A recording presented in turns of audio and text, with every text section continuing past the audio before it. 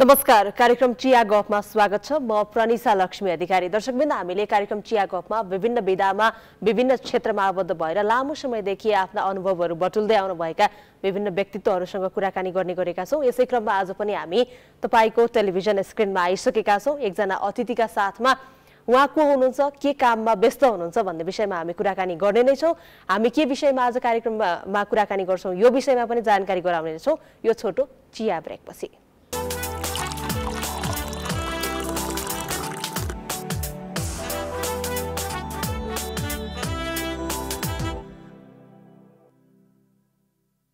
यो छोटो चिया ब्रेकपछि फेरि पनि स्वागत छ। कार्यक्रम चिया गफमा। चिया गफमा म छु प्रनिशा लक्ष्मी अधिकारी।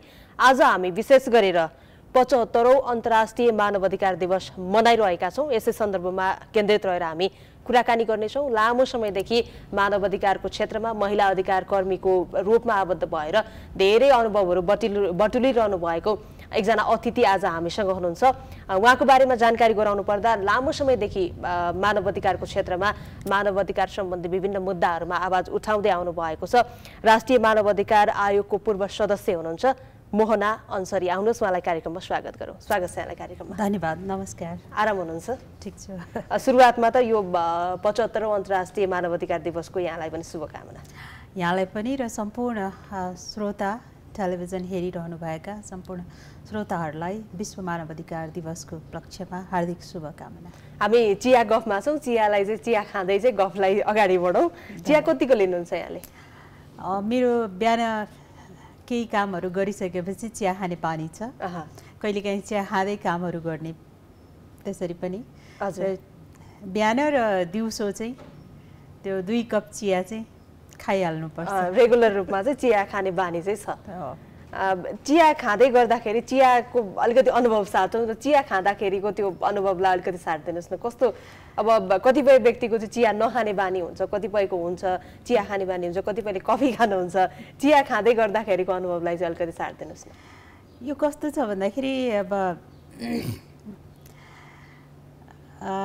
आफूलाई अलिकति फ्रेस हुन्छ। कहिलेकाहीँ दिउँसो खाने कारण चाहिँ के हो भन्दा एकदमै कामको तनाव भइरहेको हुन्छ थकान भइरहेको हुन्छ। अनि यसो अलि अ, दुई तिन बजे तिन बजेतिर एक कप चिया त्यो पनि कडा खालको चिया खाइसकेपछि आफूलाई थोरै आनन्द आए जस्तो हुन्छ। त्यसपछि। नयाँ कामको सुरुवात गर्न चाहिँ मद्दत मिल्छ। अब चिया खाने दिनमा दुई पटक चिया खाने बानी तपाईँको छ।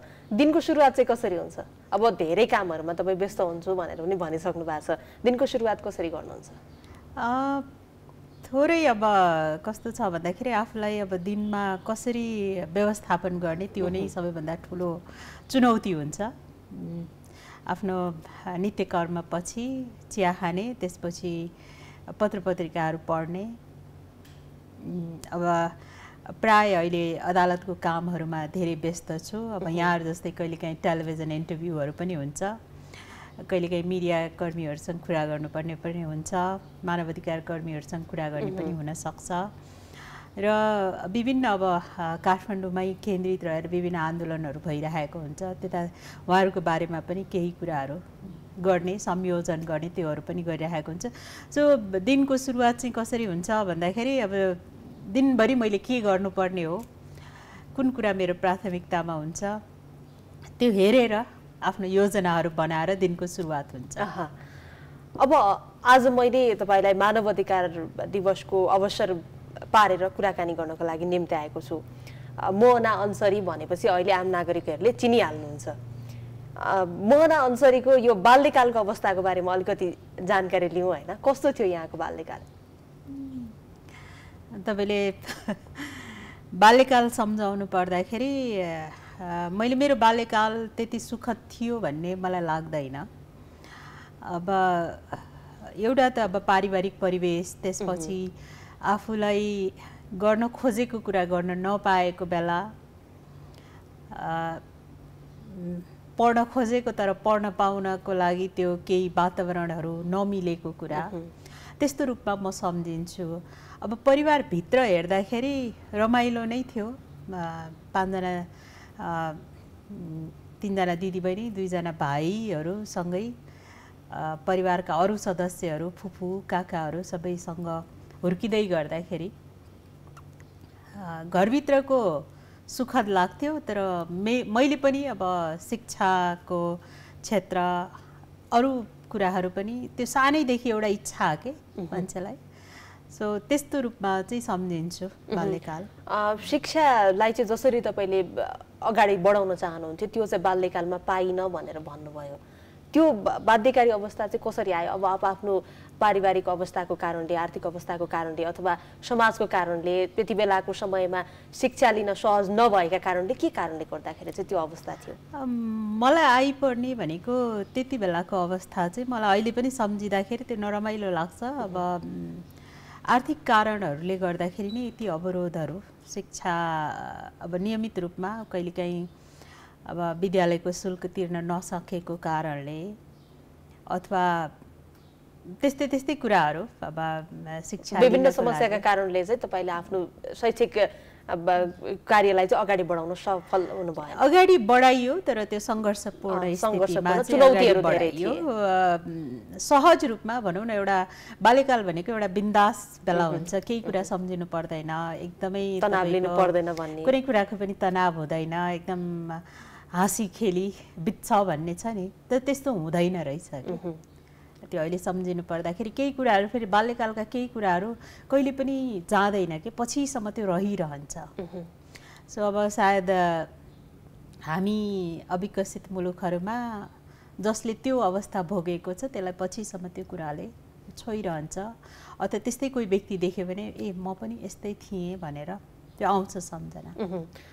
अब अहिले मोहना अन्सरी भनेर जसरी आम नागरिकहरूले चिन्नुहुन्छ विश्वव्यापी रूपमा तपाईँ परिचित हुनुहुन्छ। यसरी चिनिरहँदाखेरि यो ठाउँसम्म आइपुग्नलाई के कस्ता चुनौतीहरूलाई झेल्नु पर्यो? कसरी सम्झनुहुन्छ विगतलाई? विगत मसँग दुवै किसिमको छ सुखद र दुःखद दुइटै छ। अब सुखद रूपमा अब अहिलेको अवस्था हेरेपछि सबैलाई कस्तो लाग्छ भन्दाखेरि ओहो! कति आनन्दको रहेछ उनको जीवन? यस्तो राष्ट्रिय स्तरमा पनि काम गरिन् अन्तर्राष्ट्रिय स्तरमा पनि काम गरिन्। तर त्यहाँसम्म पुग्नको लागि जुन चुनौतीहरू थियो नि त्यो लामो थियो कि? र त्यो कठिन थियो हाम्रो लागि। अब म जुन परिवेश जुन समाजबाट आएको छु त्यो समाजमा छोरीहरूको अब धार्मिक रूपमा भन्दाखेरि एकदम ठुलो स्थान छ छोरी मान्छेको महिलाको। तर वास्तविकता चाहिँ त्यस्तो छैन। वास्तविकता कस्तो छ भन्दाखेरि त्यहाँका दिदीबहिनीहरूलाई सकेसम्म घरभित्रै सीमित राख्ने व्यावसायिक जीवनमा जानबाट रोक्ने रोक्ने वञ्चित गर्ने। अब शिक्षाको लागि पनि अब भइसक्यो तिम्रो उमेर भइसक्यो अब बिहा गर्ने अर्काको घर जाने। अब धेरै बाहिर जानु हुँदैन बाहिर गयो भने अरूहरूले पनि हेर्छन् आँखा लाउँछन्। त्यस्तो किसिमको सोचहरू थियो। र त्यो मेरो परिवारमा पनि त्यस्तो किसिमको कुराहरू आइपुग्थे हामी त्यही समाजमा छौँ जुन सोचले समाजलाई गाँजेको छ परिवारले पनि त्यही कुरालाई अँगाल्ने हो। बुझ्न नसकेको अहिले त्यसलाई विश्लेषण गर्दाखेरि बुझ्न नसकेको एउटा कुरा के थियो भन्दाखेरि समानता भनेर भनिन्छ कि विशेष गरेर म जहाँ हुर्किएको जहाँनिर छोराछोरी बराबर छन् छोरीलाई अंश दिँदाखेरि छोरा सर दिनुपर्छ भनेर त्यो त्यो किसिमको ओरिएन्टेसन अथवा त्यो किसिमको प्रशिक्षण हाम्रो थियो। तर पछि हेर्दै जाँदाखेरि शिक्षामा विभेद खानेकुराहरूमा विभेद व्यावसायिक जीवनमा जानबाट बाहिरको मान्छेलाई बढी सरोकार हुने कि परिवारलाई भन्दा पनि बाहिरको मान्छेलाई। ए छोरी ठुली भई किन पठाएको? भन्ने टाइपको त्यो सरोकार चाहिँ बाहिरीय व्यक्तिहरूलाई बढी हुने घरभित्रकोलाई नहुने घरभित्रको अब घरभित्रकोलाई कस्तो प्रभाव पर्थ्यो भन्दाखेरि त्यो बाहिरबाट सुनेर आएपछि अनि त्यसपछि त्यो घरभित्रको मान्छेलाई त्यो तनाव। ए अब मलाई त अब समाजमा अलिकति मेरो मान प्रतिष्ठामा असर पर्यो भन्ने किसिमको। इज्जत जाने भयो। इज्जत जाने भयो त्यस्तो किसिमको लिन्थे। तर अब त्यो त्यो पाटोलाई अहिलेको उसमा सन्दर्भमा अथवा अहिलेको परिवेशमा अहिलेको भनौँ न अहिलेको दिदीबहिनीहरूको जुन व्यावसायिक जीवन छ त्यो हेर्दाखेरि त्यो सङ्घर्ष राम्रोको लागि थियो भन्ने लाग्छ कि? त्यो सङ्घर्ष राम्रोको लागि थियो। र मलाई अब खुसी अथवा सुखद कहाँनिर अनुभूति हुन्छ भन्दाखेरि कहिलेकाहीँ कोही कोही भेट्छु। अनि उहाँले चाहिँ के भन्नुहुन्छ भन्दाखेरि ओहो कस्तो तपाईँलाई सुनिरहँ जस्तो लाग्छ तपाईँको बारेमा पढौँ जस्तो लाग्छ। अरू के के थियो मलाई पनि सुनाउनुहोस् भन्ने टाइपको उहाँहरूको जब कुराहरू सुन्छु भन्दाखेरि ए तपाईँहरू जन्मेको बेला चाहिँ एकदम राम्रो बेला छ। हाम्रो बेलामा नजन्मेर ठिक गर्नु भएको छ भन्ने उहाँहरूलाई यसरी सहज रूपमा अब भनिन्छ भनौँ न। तर त्यसलाई त्यसलाई हेर्दाखेरि अब परिवेश भनौँ न परिवेश त्यो अवस्थाले जुन समस्या थियो त्यो समस्याको कारणले पनि तपाईँ आज यो ठाउँमा हुनुहुन्छ भन्ने एउटा सकारात्मक कुरा पनि गरौँ। आजको पुस्तालाई चाहिँ के लाग्छ भन्दाखेरि तपाईँको दुःख मैले झेलिसकेँ अब तपाईँले दुःख झेल्नु पर्छ त्यसरी भन्न मन लाग्छ कि? अबको उसमा चाहिँ अब थोरै चुनौतीहरू चाहिँ छन् त्यो चाहिँ सायद समय परिवेशले त्यो पनि परिवर्तन हुन्छ होला। मान्छेको बुझाइ जब बिस्तारै परिष्कृत हुँदै जान्छ नि सुखद अवस्था त्यसरी आउँदै जान्छ। एकअर्काप्रतिको सम्मान एकअर्का अर्कालाई हेर्ने दृष्टिकोणहरू बिस्तारै बदलिन्छ कि सधैँ एकनाश हुँदैन। तपाईँलाई यो मानव अधिकार कर्मी बन्नुपर्छ महिला कर्मी बन्नुपर्छ महिला अधिकार कर्मी बन्नुपर्छ यो क्षेत्रमा आबद्ध हुनुपर्छ भनेर चाहिँ के कारणले चाहिँ उत्सुकता जगायो अथवा आकर्षण यो क्षेत्रमा चाहिँ कसरी बन्नुभयो? आकर्षण के कारणले भन्दाखेरि मैले भने नि मेरो पारिवारिक अवस्था नै त्यस्तै किसिमको थियो। अब मेरो बाबा अथवा मेरो परिवारले जुन किसिमको अन्याय भोग्नु भएको थियो। त्यो अन्यायप्रति म उठ्नुपर्छ भनेर मलाई महसुस भएर म त्यसरी अगाडि आएँ। र सायद अब म उठिसकेपछि मैले हाम्रो परिवारले जसरी त्यो अन्यायहरू भोगेको थियो अरू परिवारहरूले भोग्न नपरोस्। अरूलाई थिचोमिचो नहोस् भनेर सायद मलाई त्यो कुराहरूले उत्प्रेरणा दियो। परिवारमा दबाब भन्नुभयो। त्यो कुरालाई अलिकति सेयर गर्न मिल्छ? कस्तो खालको दबाब थियो? समाजले दिएकै दबाब चाहिँ अघि भने नि परिवार भनेको अब बाबा अलिकति सार्वजनिक रूपमा हिँड्ने अब काम गर्नुहुन्थ्यो।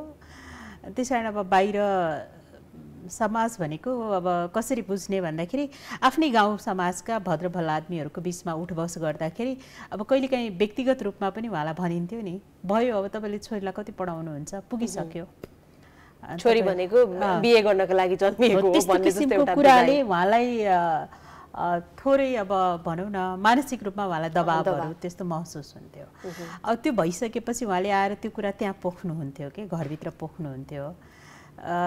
सायद यो उहाँले सुन्नुपर्ने थिएन होला सायद म घरभित्रै बसेको भए। सो मलाई के लाग्थ्यो भन्दाखेरि ए मेरो कारणले तपाईँले त्यस्तो सुन्नु पर्छ भनेर मैले मैले उहाँलाई प्रति प्रश्न गर्थेँ। पछि उहाँले चाहिँ के भन्नुभयो भन्दाखेरि पछि म भनौँ न म हुर्किसकेपछि ठुलो भइसकेपछि मैले कामहरू गर्न थालिसकेपछि ए तिम्रो कुरा मैले धेरै सुने बाहिरको कुरा कम सुने त्यस कारण आज मलाई खुसी पनि लागिरहेको छ। म बाहिरी कुराहरूको प्रभावबाट आफ्नो घर परिवारको निर्णय लिनु परेन भन्ने किसिमले उहाँले जुन कुराहरू भन्नुहुन्थ्यो त्यसले चाहिँ उहाँमा पनि त्यो विश्वास चाहिँ कायम थियो। थियो तपाईँमा पनि उत्प्रेरणा जागिरहनु त्यसले चाहिँ सहयोग गर्यो। हामी एउटा छोटो चिया ब्रेक लिन्छौँ। ब्रेकपछि फेरि आउने नै छौँ हेर्दै गर्नुहोला प्राइम एसडी।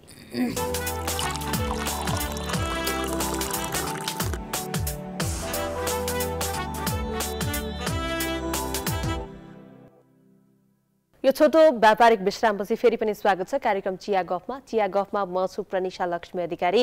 आजको कार्यक्रममा हामीले विशेष गरी मानव अधिकारका विषयमा केन्द्रित रहेर कुराकानी गरिरहेका छौँ। आज पचहत्तरौँ अन्तर्राष्ट्रिय मानव अधिकार दिवस। विभिन्न कार्यक्रमको आयोजनाका साथ ने विश्वभरि नै मनाइरहेको छ। यसै विषयको सेरोफेरोमा रहेर आज हामी कुराकानी गरिरहेका छौँ। यो विश्रामपछि फेरि पनि स्वागत छ यहाँलाई। धन्यवाद। हामीले अगाडि तपाईँको यहाँसम्मको सङ्घर्ष कस्तो रह्यो? यो विषयमा केन्द्रित रहेर अलिकति कुराकानी गऱ्यौँ तपाईँले अगाडि भन्नुभयो शिक्षाबाट वञ्चित हुनुपर्ने बाध्यता थियो भनेर। स्वास्थ्य शिक्षा भनेको त हाम्रो मानव जीवनको चाहिँ यो मौलिक अधिकारमा नैसर्गिक अधिकारभित्र पर्ने कुरा हो। तपाईँले तपाईँको समयमा जुन बाध्यता थियो योबाट वञ्चित हुनुपर्ने बाध्यता रह्यो। अहिलेको अवस्थामा तपाईँ ग्रामीण क्षेत्रमा जानुहुन्छ आम नागरिकहरूसँग घुलमिल भएर काम गरिरहनु भएको छ अन्तर्राष्ट्रिय स्तरमा धेरै कामहरू गरिसक्नु भएको छ। त्यति बेला तपाईँले जुन बाध्यता भोग्नु परेको थियो अहिलेको अवस्था र त्यति बेलालाई कम्पेयर गर्नुपर्दा कतिको परिवर्तन देख्नुहुन्छ? परिवर्तन के मायनेमा देखिन्छ भन्दाखेरि शिक्षा र स्वास्थ्य म पढ्दाखेरि पनि नि शुल्क थिएन अथवा मैले पनि सेवा लिन जाँदाखेरि नि शुल्क थिएन। त्यति बेला स्वास्थ्य जाँचको लागि पाँच रुपियाँ दस्तुरको टिकट थियो भने अहिले आएर त्यो दस्तुर चाहिँ धेरै नै महँगो भएको छ। म पढ्दाखेरि सत्रदेखि पैँतालिस रुपियाँसम्म फिस थियो भनेपछि अहिले त्यो आएर धेरै नै महँगो भएको छ। यहाँसम्म कि अब सरकारी विद्यालयहरूलाई नि शुल्क भन्ने गरिएको छ त वास्तविक रूपमा त्यो नि शुल्क छैन अब धेरै कुराहरू निजीकरण भएको छन् त्यति बेला धेरै कुराहरू सरकारी थिए। सरकारी सेवाहरू न्यूनतम शुल्कसहितको उपलब्धता थियो भनेपछि अहिले चाहिँ धेरै नै शुल्क तिरेर पनि त्यो जुन न्यूनतम आधारभूत कुराहरू छ त्यो प्राप्त गर्न चाहिँ कठिन छ। अब त्यो बेलाको प र आजको बेलामा तुलना गर्ने हो भने हो धेरै कुराहरूको महँगी पनि बढेको छ। तर महँगी बढ्यो भन्दैमा जनतालाई दोहन गर्ने चाहिँ होइन। नेपालको संविधानले के भनेको छ भने कि शिक्षा र स्वास्थ्यमा चाहिँ जनताको पहुँच विस्तार गर्ने र केही अब विशेष गरेर निमाविसम्मको नि शुल्क शिक्षा अहिले त प्लस टूसम्मको नि शुल्क शिक्षा भनिएको छ। तर हामीले एउटा कुरा चाहिँ अब जो नीति निर्माणमा हुनुहुन्छ आफूले एकचोटि अब संविधानमै लेखेको कुरा पनि पढेर त्यो कुरालाई अगाडि बढाउन सकिराख्नु भएको छैन। निजीकरणहरूको माध्यमबाट स्वास्थ्य र शिक्षाको बेचबिखन भइरहेको छ कि? ल ठिक छ निजीकरणलाई पनि अब प्रोत्साहित गर्नुपर्छ निजी लगानीलाई पनि प्रोत्साहित गर्नुपर्छ। तर निजी लगानीलाई प्रोत्साहित र सुरक्षित गर्दा गर्दै पनि जनताको अब न्यूनतम आधारभूत कुराहरूलाई शिक्षा स्वास्थ्य रोजगारीका कुराहरू समयमा चाहिँ दिन नसक्नु र चाहेको बेला उपलब्ध नहुनु। त्यो भनेको चाहिँ अत्यन्त अब मानव अधिकारको दृष्टिकोणबाट एकदम गम्भीर कुराहरू हो त्यो भनेको मौलिक हकको उल्लङ्घन हो हामीले भन्छौँ यसरी भन्दाखेरि अब दूरदराजको मान्छेहरूले चाहेको बेला प्यारासिटामोल नपाउनु दूरदराजको मान्छेले चाहेको बेला जीवन जल नपाउनु सुत्केरी अथवा गर्भवती महिलाले आवश्यक परेको बेलामा उपचार नपाउनु किडनी खराब भएको छ डायलिसिस गर्न नपाउनु टिबीको औषधिहरू उपलब्ध नहुनु। धेरै कुराहरू छन् होइन। अब त्यो कुराहरू प्राप्त नहुनु समयमा विद्यालयले पुस्तक नपाउनु बालबालिकाहरूले पुस्तक नपाउनु। आजको पनि अवस्थामा सोच्दाखेरि ए यस्तो पनि छ देश भन्ने हामीले भन्नुपर्ने अवस्था छ। नुन प्राप्त नहुनु। समानताका दृष्टिकोणले हेर्दाखेरि तपाईँले जुन समस्या भोग्नु भएको थियो त्योभन्दा ठुलो समस्याहरू चाहिँ अहिले आम नागरिकहरूले भोगिरहेछन् भन्ने हो? समस्याहरू त्यति बेलाको सूचना सञ्चारको पहुँचले गर्दाखेरि हामीले धेरै ढिलो थाहा पाउँथ्यौँ अहिले हामीले छिटो थाहा पाउन थालेका छौँ। जस्तै उदाहरणको लागि अब आज विश्व पचहत्तरौँ अन्तर्राष्ट्रिय मानवाधिकार दिवस हो। एक महिना अगाडि जाजरकोटमा भूकम्प गयो। एउटै परिवारको दुईजनाले आफ्नो छोरा र छोरी गुमाउनु भयो। यो बिचमा मलाई लाग्छ हप्ता दिन बिचमा उहाँहरूले गुमाउनु भयो। के कारण भन्दाखेरि चिसो भर्खर हिउँदको सुरुवात हुँदै थियो जाडोयामको सुरुवात हुँदै थियो। त्यो बेलामा भूकम्प गयो र जाजरकोटको त्यो बस्तीहरू एक त पहिल्यैदेखि हाम्रो दूरदराजका ठाउँहरू न्यूनतम कुराहरूबाट वञ्चित छन्। र जब यस्तो किसिमको विपद आइलाग्छ विपद अथवा कुनै पनि विपदलाई आइलाग्छ त्यति बेला उहाँहरूकै जीवन चाहिँ चुनौतीपूर्ण बन्छ कि। जोसँग उपलब्धता छ त्यसले चाहिँ किनिहाल्छ त्यसले प्राप्त गरिहाल्छ जोहो गरिहाल्छ उसले सक्छ। तर दुर्भाग्य के छ भन्दाखेरि जोसँग केही पनि छैन उसैले धेरै कुराहरू गुमाइरहेको हुन्छ र उसैलाई प्राप्ति गर्दाखेरि झन् चुनौती बढ्दै जान्छ। त्यो हेर्दाखेरि हामी कता कता अप्ठ्यारो अवस्थामा छौँ। अहिले अहिले अब भनौँ न जुन बेला काठमाडौँ भूकम्पले थर्काए मान्थ्यो त्यति बेला विश्व सहयोग एकदम सजिलो रूपमा हामीले प्राप्त गरेका थियौँ। त्यति बेलाको प्रिफ्याब सन्दर्भ प्रिफ्याबबाट बन्ने भवनहरूको सन्दर्भ नेपालमा नेपालमा भित्रिएको थियो। अहिले पनि त सकिँदो रहेछ कि? प्रिफ्याबबाट त सजिलै घरहरू बन्दा रहेछन्। हामीसँग साधन स्रोत छ सेनाको त्यत्र त्यत्र हेलिकप्टरहरू छन्। नेपालमा व्यावसायिक हवाई सेवाहरू विस्तार भएको छ।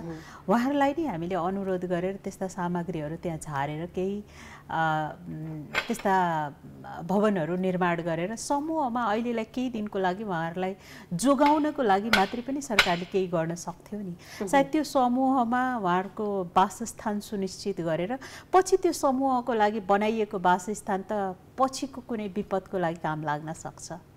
राजनीतिक दलका सभा सम्मेलन गर्न काम लाग्न सक्छ। कुनै ठुलो त्यही भनौँ न जाजरकोटको लागि आवश्यक पर्ने त्यस्तै ठुलो कुनै सम्मेलनहरूको त्यो त्यो भवनहरू उपयोगमा आउन सक्छ नआउन सक्ने होइन।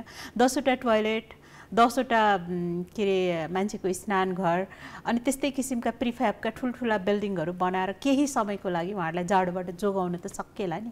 तर त्यतातिर पनि ध्यान नदिँदाखेरि अनौठो लाग्छ। त्यहाँको पालिकाको ठुलो बिल्डिङ छ कि।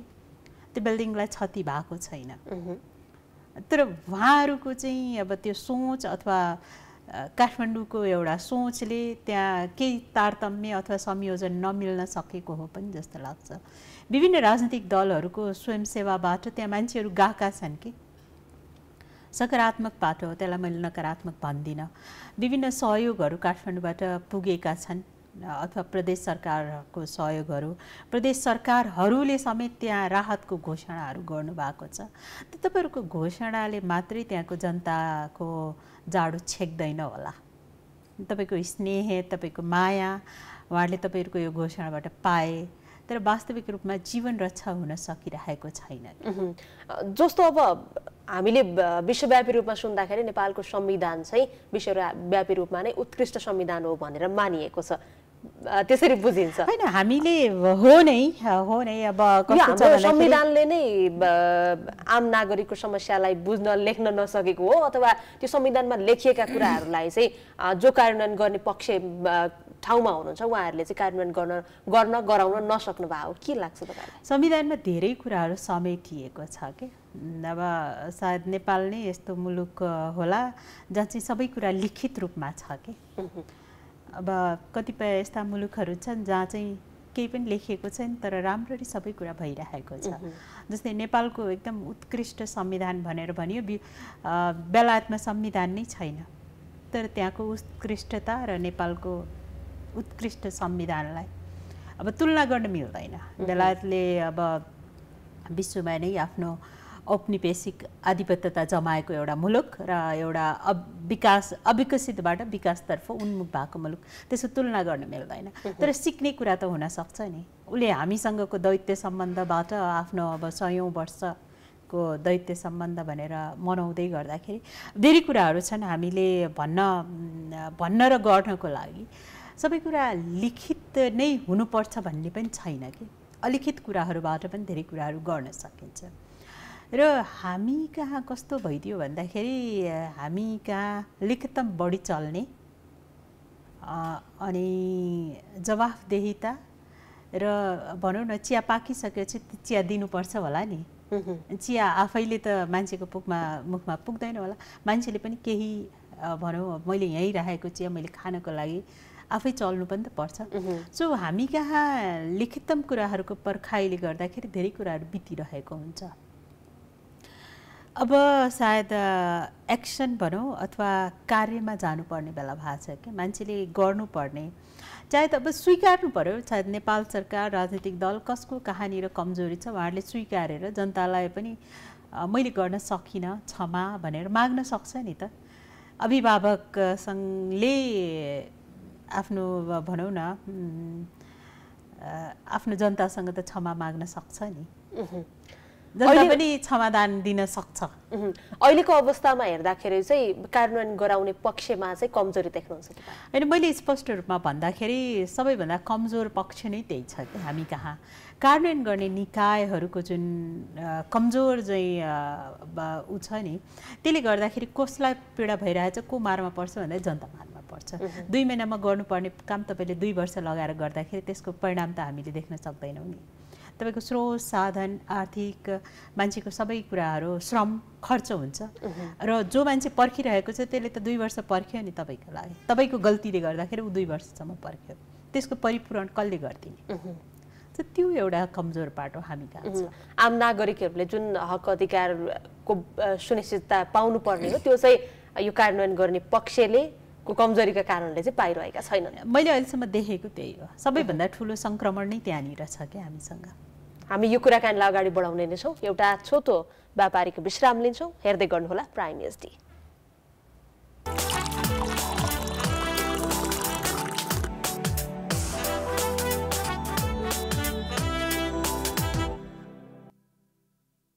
यो छोटो व्यापारिक विश्रामपछि फेरि पनि स्वागत छ। कार्यक्रम चिया गफमा। चिया गफमा म प्रनिशा लक्ष्मी अधिकारी छु। आज हामीसँग हुनुहुन्छ लामो समयदेखि मानव अधिकारका क्षेत्रमा महिला अधिकार कर्मीका रूपमा आबद्ध भएर लामो समयदेखि यो क्षेत्रमा काम गर्दै आउनुभएका मोहना अन्सरी हुनुहुन्छ। उहाँसँग हामीले यसै विषयमा केन्द्रित रहेर कुराकानी गरिरहेका छौँ। आज पचहत्तरौँ अन्तर्राष्ट्रिय मानव अधिकार दिवस। यसै विषयमा केन्द्रित रहेर विशेष रूपमा हामी कुराकानी गरिरहेका छौँ। फेरि पनि स्वागत छ यहाँलाई कार्यक्रममा। आज पचहत्तरौँ अन्तर्राष्ट्रिय मानवाधिकार दिवस हामी मनाइरहेका छौँ। पचहत्तर पटकसम्म यो मानवाधिकार दिवस मनाइरहँदाखेरि जुन उद्देश्यले मानवाधिकार दिवस मनाइन्छ आम नागरिकहरूको हक अधिकार सुनिश्चित गर्नुपर्छ भन्ने एउटा उद्देश्य रहन्छ यसको। त्यो उद्देश्य चाहिँ पुरा भइरहेको छ। तपाईँले कसरी बुझ्नु भएको छ? यो दिवसको कुरालाई चाहिँ कसरी बुझ्नु भएको छ? यो एउटा विश्व परिवेश हो र हामीले यो दिनलाई नेपालको सन्दर्भमा विश्लेषण गर्नुपर्छ। नेपालमा चाहिँ मानव अधिकारको अवस्था कस्तो छ भनेर। एउटा दुईवटा सुखद पक्ष छ हामीसँग। एउटा सुखद पक्ष के हो भन्दाखेरि लामो पर्खाइपछि नेपाली जनताले आफैले आफूद्वारा लिखित संविधान प्राप्त गरे। दोस्रो कुरा के छ भन्दाखेरि संविधानमा धेरै कुराहरू उल्लेख भएर आयो। अब देशले थोरै आफ्नो बाँकी काम चाहिँ गर्नुपर्ने जुन एउटा प्रतिबद्धता थियो नि राजनीतिक दलको दलहरूको त्यो प्रतिबद्धतामा दलहरू चुके भनेर म भन्न चाहन्छु केही कुराहरू। जस्तै सुखद पक्ष संविधान प्राप्त गर्यो एउटा सङ्क्रमण कालको अन्त्य भयो। संविधानमा धेरै जनताका अधिकारहरू लेखिएर आए। आर्थिक सामाजिक सांस्कृतिक अधिकारहरू राजनीतिक अधिकारहरू स्वतन्त्रतापूर्वक हेलडुल गर्न पाउने अधिकारहरू सुनिश्चित भएर आए। महिला अधिकार बालबालिका अधिकार यातना विरुद्धका अधिकार त्यस्ता कुराहरू लेखिएर आए कि। तर सबैभन्दा ठुलो कुरो के हो भन्दाखेरि न्याय प्राप्तिको अधिकार पनि त्यही संविधानले सुनिश्चित गर्यो। र एउटा सङ्क्रमण कालको अन्त्य भइसकेपछि अर्को सङ्क्रमण कसरी सुरु भयो भन्दाखेरि न्याय प्राप्तिको बाटो चाहिँ कठिन हुँदै गयो। मैले यो कुरा कहाँ कसँग जोड्न खोजिरहेको छु भन्दाखेरि महिलाहरूको जीवनमा घट्ने घटनाहरू छन्। एउटा दैनिक घटनाहरू छन् एउटा पछिल्लो समय घटेका घटनाहरूको सम्बोधन हुन सकिरहेको छैन। दैनिक कुनै महिला हिंसामा पर्छ र उसले जाँदाखेरि उसले पाउनुपर्ने जुन माया अभिभावक अभिभावक भनेको सरकार हो हाम्रो लागि। माया त्यसपछि उसले उठाएका जति पनि विषयहरू छन् अथवा भनौँ न ऊ आफू हिंसामा परेको छ भने त्यसको तत्काल निराकरण खोज्छ। उसको सुरक्षित वासस्थान खोज्छ। त्यो दिनमा सरकार चुकिरहेको छ। अब मैले अर्को एउटा मूल कुरा यहाँनिर जोड्न खोजिरहेको छु। हाम्रो देश जसरी द्वन्द्वको भनौँ न आन्तरिक द्वन्द्वको चपेटामा थियो माओवादी युद्ध भएको थियो नेपालमा माओवादी जनयुद्ध भएको थियो। त्यो जनयुद्धको कारणले धेरैजना मान्छे प्रताडित भए विस्थापित भए बेपत्ता भए हत्या भयो। त्यो कुराको सम्बोधन नहुँदाखेरि त्यो एउटा ठुलो वर्ग छ अथवा ठुलो तब्का छ। त्यो अहिले पनि न्यायको पर्खाइमा बसेको छ। त्यो कुरालाई पनि अब धेरै विलम्ब नगरेर तत्काल सम्बोधन गर्नुपर्ने। त्यसपछि हामीले अर्को सम्बोधन गर्न नसकेको कुरा र अथवा हामी गर्व गर्न सकौँ न अब पछिल्लो समयमा हामी एउटा विकासको गति लिइरहेका छौँ। देशले आर्थिक समृद्धि जनताको खुसीको कुराहरू गरिरहेछौँ भने त्यो आर्थिक समृद्धिमा जनताको आफ्नो धन भनौँ न उसले मेहनत परिश्रम गरेर आर्जेको कुराहरूको सुरक्षित हुन सकेन यसरी भन्नुपर्छ जसरी हामी दिवस मनाउँछौँ वर्षैपछि त्यो दिवसको औचित्य चाहिँ पुरा भइरहेको छैन। आधी पुरा भयो आधी बाँकी छ। अगाडि भन्नुभयो तपाईँले न्यायको बाटो चाहिँ कठिन भइरहेको छ भनेर। के के कारणले गर्दाखेरि चाहिँ न्यायको बाटो कठिन भएको छ अहिलेको अवस्थामा? एउटा चाहिँ समग्रमा हेर्दाखेरि राजनीतिक दलको जुन एउटा प्रतिबद्धता छ सरकार बाहिर हुँदाखेरि एउटा प्रतिबद्धता हुन्छ सरकारमा गइसकेपछि एउटा प्रतिबद्धता हुन्छ। र तपाईँले अब विशेष गरेर राजनीतिक दलहरूले मैले सरकार बाहिर हुँदाखेरि गरेको प्रतिबद्धता के थियो? त्यसलाई एकचोटि सम्झौँ र सरकारमा गइसकेपछि न्यायलाई कसरी सम्बोधन गर्नुपर्छ त्यो कुरा सम्झौँ। अब हामीसँग न्यायालय छ सिङ्गो न्यायालय छ त्यसपछि हामीसँग विभिन्न आयोगहरू छ त्यसमध्येको एउटा मूल रूपमा मानव अधिकार आयोग छ। अब न्यायालयसँग पनि त्यही किसिमको परिवेश छ राजनीतिक छाया परेको छ न्यायालयमा पनि। मानव अधिकार आयोग त त्यसको सबैभन्दा ठुलो भुक्तभोगी भएको जस्तो छ क्या मानव अधिकार आयोगमा राजनीतिको पूर्ण हस्तक्षेप भएको छ क्या जुन एउटा संस्था थियो त्यसलाई हामीले निष्कलङ्क निष्पक्ष राख्नुपर्ने थियो। त्यो संस्था नै अहिले अहिलेको अवस्थामा आएर एकदमै नराम्रो अवस्थामा गिजोलिएको छ। त्यहाँ न्यायको बाटो यसरी कठिन भएको छ। जसरी आम नागरिकहरूको समस्या समाधान गर्ने भनेर खोलिएका स्थापना गरिएका विभिन्न निकायहरू छन् ती निकायहरू चाहिँ राजनैतिक दलको दलदलमा फँसेका छन् अहिलेको एकदमै तपाईँको भाषामा यही भन्दा हुन्छ हामीले यसरी त्यही कारणले पनि आम नागरिकहरूले न्यायको प्रत्याभूति चाहिँ अनुभव गर्न चाहिँ सकिरहेका छैन सकिरहेको छैन आम नागरिकले चाहिँ अब सामान्य रूपमा हामीले बुझ्नु पर्दा तपाईँ मानव अधिकार कर्मीको नाताले कुरा गर्नु पर्दाखेरि आम नागरिकले पाउनुपर्ने अधिकार चाहिँ के हो? कस्तो छ भन्दाखेरि आम नागरिकको कुरा यो विषय चाहिँ लामो समयदेखि चर्चा भइरहेको विषय हो। अझै पनि आम नागरिकले हामीले सामान्य अधिकार पनि पाएका छैनौँ भन्छन्। सरकारले भन्छ हामीले नागरिकको हक अधिकारका लागि यत्रो लडाइँ गऱ्यौँ यत्रो काम गरिरहेछौँ भन्छ सरकारले। कुनै पनि व्यक्तिको जन्म भइसकेपछि उसले मैले कुनै किसिमको थिचोमिचो विभेद खेप्न नपरोस् भन्छ क्या। तर हामी कहाँ चाहिँ त्यो जब निरन्तर हुन्छ त्यसपछि त्यो आम नागरिकको अधिकार चाहिँ त्यहाँनिर कुण्ठित हुन्छ। अब समग्रमा भन्नुपर्दाखेरि व्यक्ति व्यक्तिको मानवाधिकारको सम्मा सम्मान संरक्षण हुनु पर्यो त्यसमा चाहिँ अब व्यक्ति व्यक्ति भनेपछि मानव भनेर हामीले बुझ्नुपर्छ। अब के के भन्ने कुरा कस्तो हुन्छ भन्दा शिक्षा स्वास्थ्य रोजगारी। यति हो कि? न्यूनतम कुरा के? त्यसपछि त्यो नागरिकले शिक्षा स्वास्थ्य रोजगारी यति प्राप्त गरिसकेपछि उसले दिने त सरकारलाई हो कि? एउटा मान्छे शिक्षित हुन्छ समयमा स्वास्थ्य प्राप्त गर्छ रोजगारी रोजगारीबाट त सरकारलाई नै ट्याक्स बुझाउँछ नि। सिम्पल धेरै यसमा हामीले धेरै उसमा जानै पर्दैन। उसको रोजा रोजगारीको सुनिश्चितता भयो भने उसले त बुझाउने फेरि ट्याक्स त सरकारलाई हो नि। र त्यही ट्याक्सबाट सरकार चल्छ। सिम्पल कुरा। योभन्दा धेरै कुरा छैन। उसको रोजगारी सुनिश्चित भयो भने उसको परिवार खुसी हुन्छ सुखी हुन्छ। आज पनि प्रधानमन्त्री पुष्पकमल दाहालले बिहानै यो मानव अधिकार सम्बन्धी दिवसको चाहिँ शुभकामना दिनुभएको छ। आम नागरिकहरूका हक अधिकारको सुनिश्चितता गर्ने चाहिँ यो सरकारले प्रयत्न गरिरहेको छ अगाडिदेखि गरिरहेको थियो गरिरहेछ भन्नुभएको छ। उहाँले प्रयत्न गरिराख्नु भएको छ। मैले उहाँलाई प्रयत्न गर्नु भएको छैन भनेर भन्न सक्दिनँ होला गाह्रो होला। तर उहाँले आफैले गरेका केही प्रतिबद्धताहरू बिर्सिनु भए जस्तो पनि लागिरहेको छ। उहाँले एकचोटि आफूले जनयुद्धको सुरुवात गरेको विषयलाई सम्झ्यौँ। केही नाराहरू थिए उहाँहरूका। होइन उहाँहरूले पनि सम्झिनु पर्यो। उहाँहरूले द्वन्द्व प्रभावितहरूलाई न्याय दिन सक्नु पर्यो। राज्यको पुनर्संरचना गर्नु भा गर्ने एउटा ठुलो मूल उद्देश्य थियो प्रतिबद्धता थियो। राज्यको पुनर्संरचना गर्नुभयो तर दलीयकरण सहित गर्नुभयो।